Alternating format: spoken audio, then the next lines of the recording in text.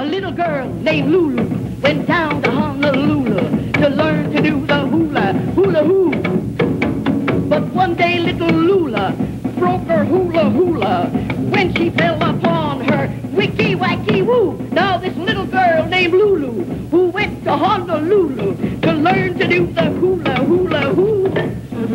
No more can do the hula.